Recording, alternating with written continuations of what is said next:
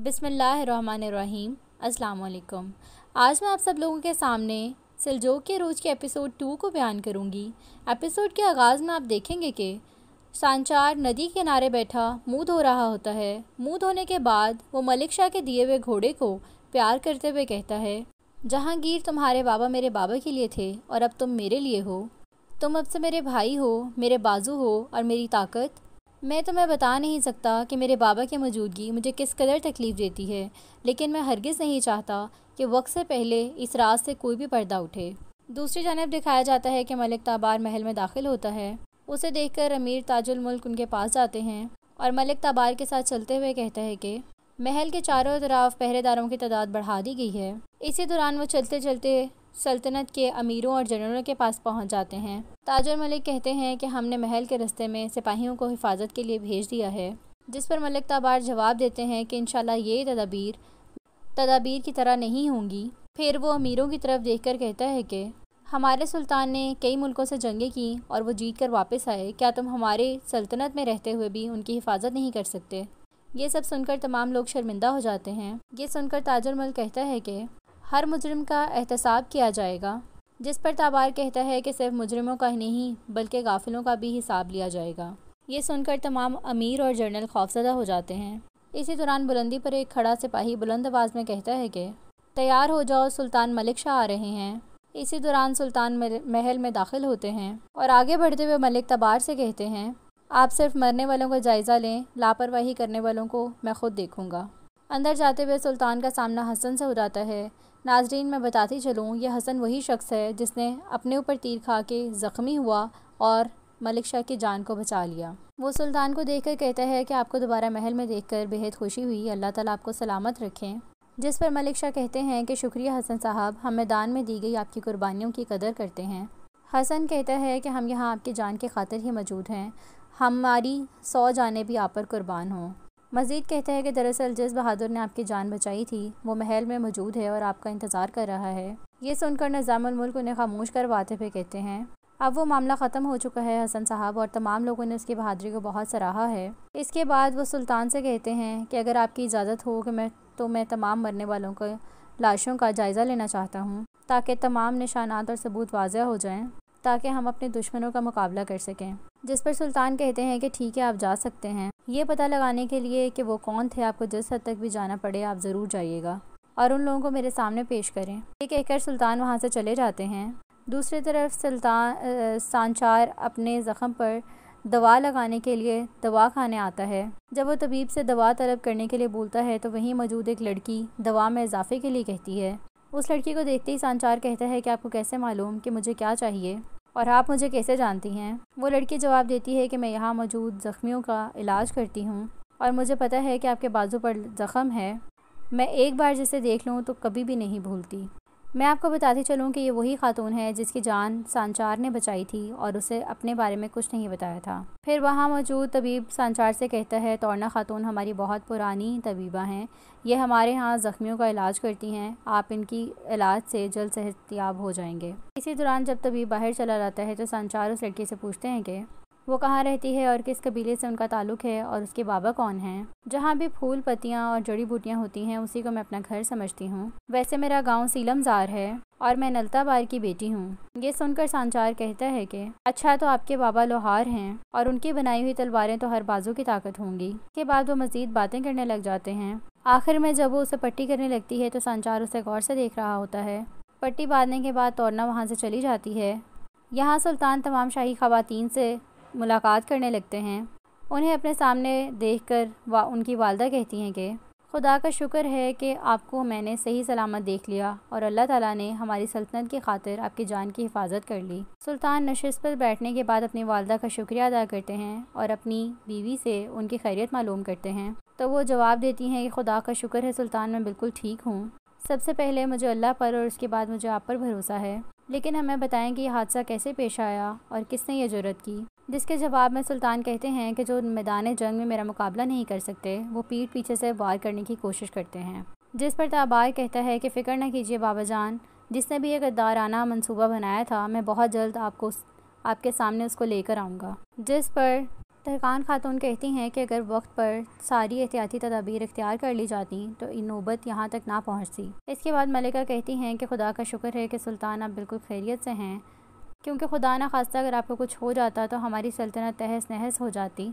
जिसके जवाब में मलिक शाह कहते हैं कि मैंने अपने बाबा से सीखा है, अम्मी जान, कि अगर सर कट भी जाएँ तो परचम ज़मीन पर नहीं आना चाहिए। आप फ़िक्र ना करें, ऐसा कुछ नहीं होगा। अपने बाबा के बाद मैंने ही सल्तनत को संभाला है और अगर खुदा न खास्ता मुझे भी कुछ हो जाता है तो मेरी औलादें मौजूद हैं, जो कि मेरी गैर मौजूदगी में सल्तनत की पूरी तरह से हिफाजत करेंगी। यहाँ मुल्क और ताजुल मलिक सुल्तान के हुक्म के मुताबिक लाशों का जायज़ा ले रहे होते हैं। इसी दौरान मुल्क कहते हैं, इसके तीर, खंजर और लिबास बिल्कुल हमारे सिपाहियों जैसा है, जिसकी वजह से इनकी शनाख्त करना बेहद मुश्किल है। लेकिन हम कोशिश करते रहेंगे, कोई ना कोई सुराग ज़रूर मिल जाएगा। इसके बाद जब वो उसकी टोपी का जायज़ा लेने लगते हैं तो उन्हें अचानक से ख्याल आता है, जिसके बाद वो उस गद्दार के सर का मुआयना करने लगते हैं। फिर वो अपने खंजर से उसके सर के बाल साफ़ करने लग जाते हैं, जिसके बाद वो देखते हैं कि उसके सर पर दो मोबल शाहीन का निशान बना हुआ होता है, जिसे देखते ही ताजुल मुल्क कहते हैं ये तो अनातुलिया के तुर्कों की मोहर है और मुझे बहुत अफसोस है इन पर कि वो हमारे सुल्तान की जान लेना चाहते हैं।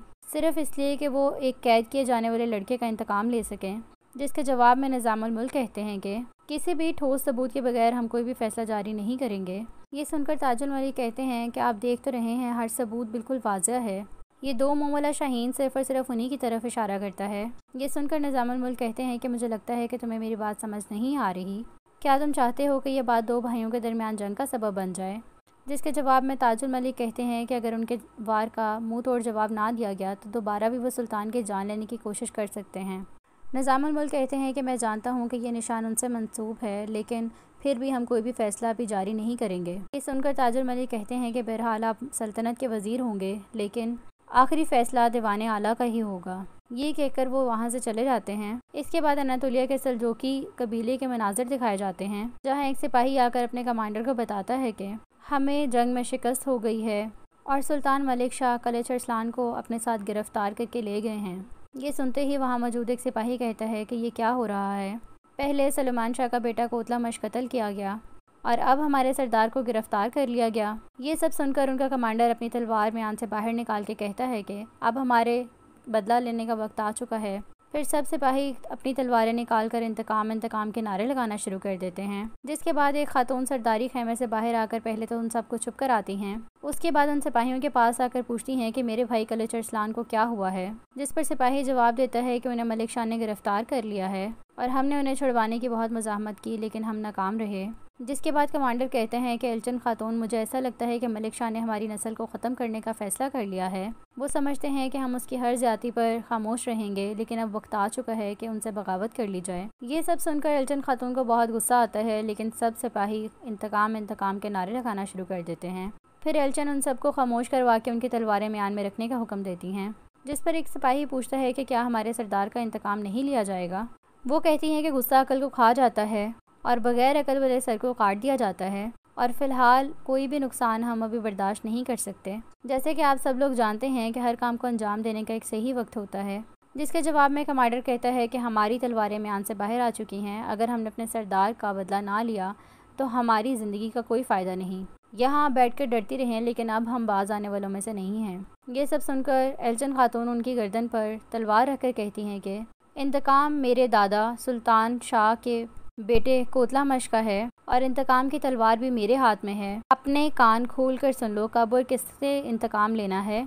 इसका फैसला सिर्फ़ मैं करूँगी, ना कि तुम। फिर वो अपने तमाम सिपाहियों से मुखातब होकर कहती हैं, आज से मेरा फ़ैसला मेरे भाई कलच अरसलान का फ़ैसला होगा और मेरी बात ना मानने वाला उनकी फरमान नाफरमानी करेगा।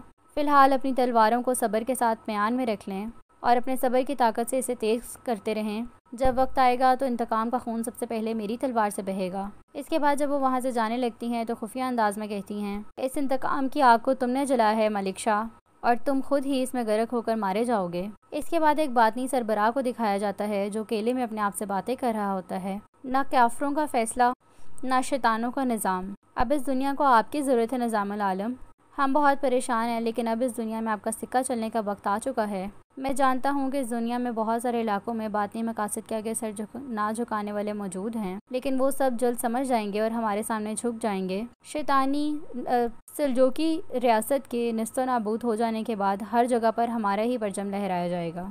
यानी बातनियों का परचम। उसी दौरान दिखाया जाता है कि एक शख्स अपना चेहरा छुपाए, घोड़े पर सवार होकर वहाँ पर पहुँच जाता है। जैसे ही वो अपने चेहरे से पर्दा हटाता है तो हम देखते हैं कि ये कोई और नहीं, ये वही हसन होता है।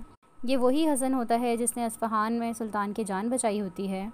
ये कोई और नहीं, बल्कि बातियों से ताल्लुक़ रखने वाला सलजोकी महल में एक जासूस है। फिर वो अंगारों पर चलता हुआ अपने बाती सरबराह के पास जाकर कहता है कि, जनाब आला, मेरा सलाम कबूल फरमाएँ।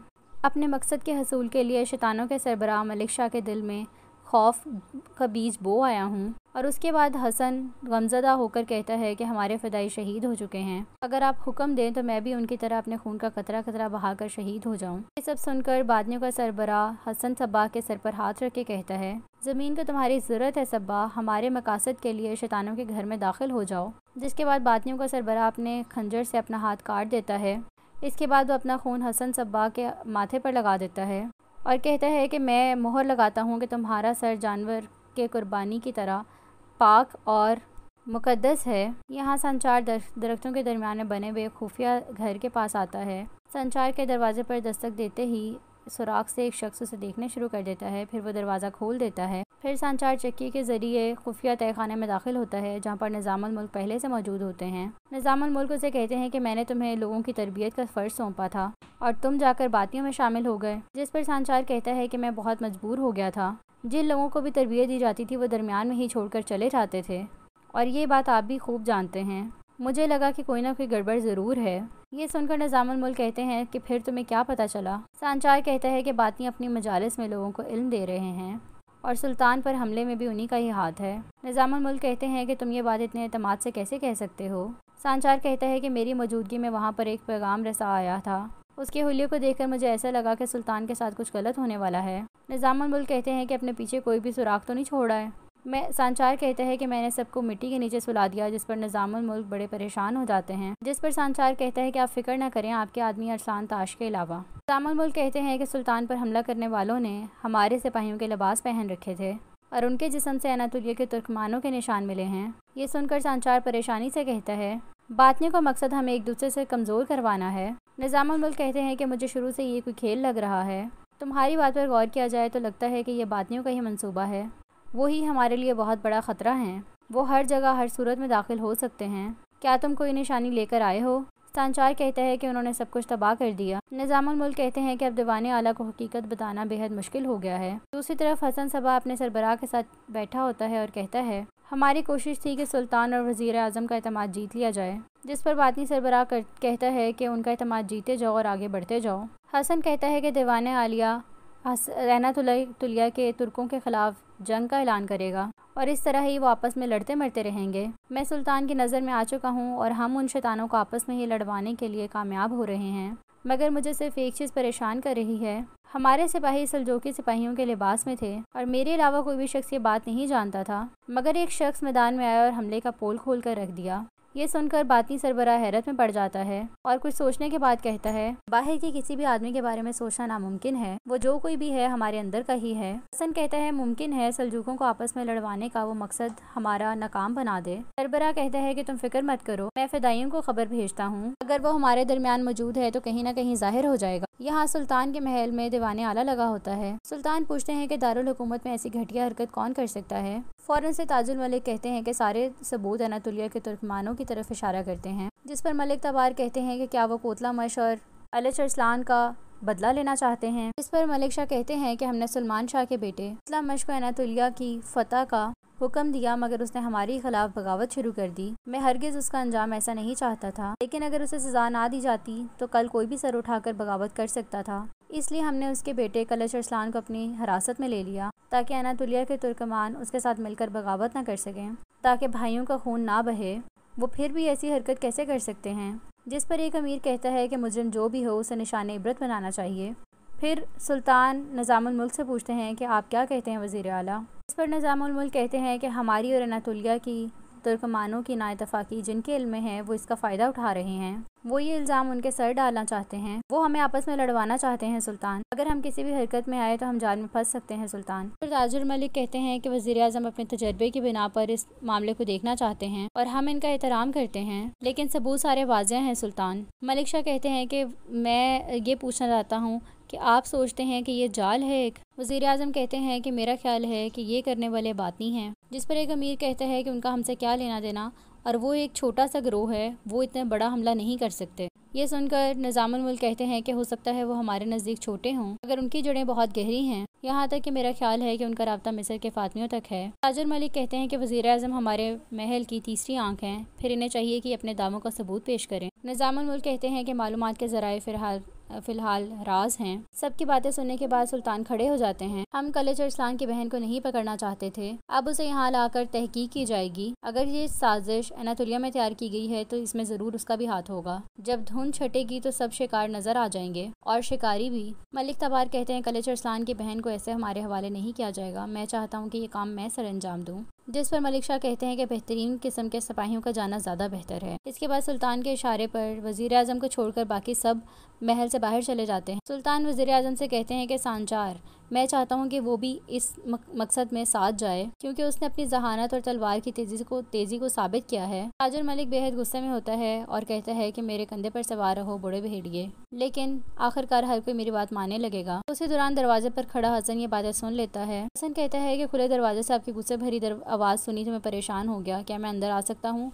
ताजर मलिक उसे आने की इजाज़त दे देते हैं और हसन उनसे पूछता है इस कदर गुस्से की क्या वजह है? जिस पर ताजर मलिक कहता है कि सबूत मिल चुके हैं, लेकिन फिर भी मुल्क कहते हैं कि हमले में किसी और का हाथ है। हसन कहता है कि वो कोई भी हो, वज़ीर अजम के पास उनके खिलाफ सबूत मौजूद होंगे। जिस पर ताजर मलिक कहते हैं कि ऐसा ही है, लेकिन ये एक राज है। लेकिन एक छोटी सी जमात क्या उखाड़ सकती है? छोटी सी जमात का नाम सुनकर हसन के कान खड़े हो जाते हैं। हसन कहता है कि सुल्तान इंसाफ पसंद है, जिसके पास सबूत होगा, उसी की बात मानी जाएगी। ताजर मलिक कहते हैं कि एक बार कलेचर इस्लाम की बहन आ जाए तो फिर सारे सबूत वाजह हो जाएँगे। ये सुनकर हसन मुस्कुराने लग जाता है। इसके बाद दिखाया जाता है सांचार अपने कबीले वापस पहुँच जाता है, जहाँ पर वो अपनी वालदा के साथ रहा करता था। कबीले में एक बड़ा शख्स, जो कि इस कबीले का सरदार होता है, बच्चों को सांचार के बहादुरी के किस्से सुना रहा होता है। फिर वो बच्चों से कहता है कि अच्छी तरह तालीम हासिल करो, ताकि तुम भी सांचार की तरह बहादुर बन सको। उसी दौरान सांचार अपने साथियों के साथ वहाँ पर पहुँच जाता है। सांचार को देखकर कबीले के सब बच्चे भागते हुए उसके साथ लिपट जाते हैं। सांचार बच्चों से बहुत प्यार करता है, फिर उसे वहाँ से भेज देता है। इसके बाद सुल्तान